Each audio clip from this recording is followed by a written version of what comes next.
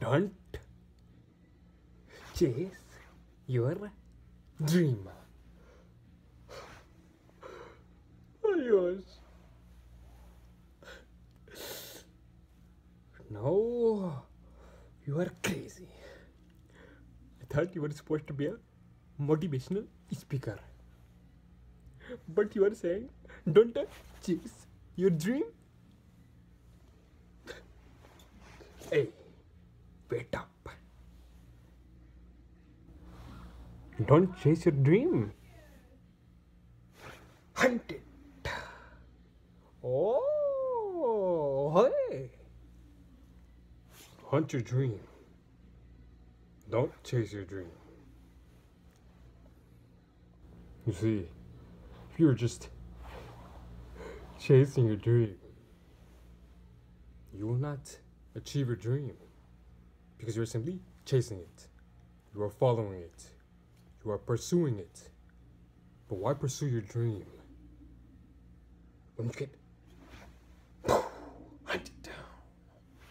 You see, you, you are the cheetah, and your dream is the gazelle.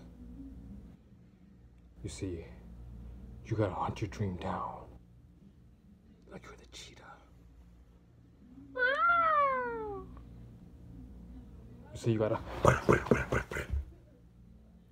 And then when it's time, you gotta pounce. Right on the behind of the juicy behind of the gazelle. And then you bang, bite it. And that's how you hunt your dream. You see, once you hunt your dream, you will get your dream.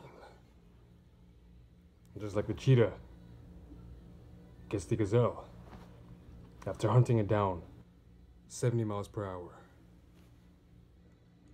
It doesn't give up. The cheetah never gives up, knowing that the gazelle is fast as well. One of the fastest land animals. The cheetah goes faster and faster and faster and faster. And then when it's time, boom! He gets it. He gets the dream. The gazelle. You see what I'm saying? You see, your your weapon for hunting could be your hard work, your skills, your talents, your personality, your attitude, your perseverance, your patience. See, these are all tools. These are your weapons. Your weapons to go hunting for your dream. You see? So, choose your weapons. You could even have one or several weapons. But it's how you use those weapons that defines how you will hunt your dream.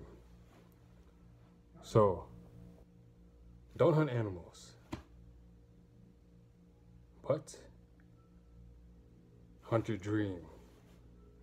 That is the only thing that you should be hunting.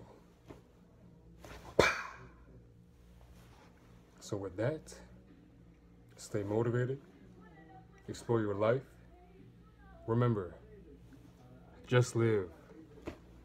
Stay tuned for daily videos. Share, spread the perspective, and possibly enhance a life.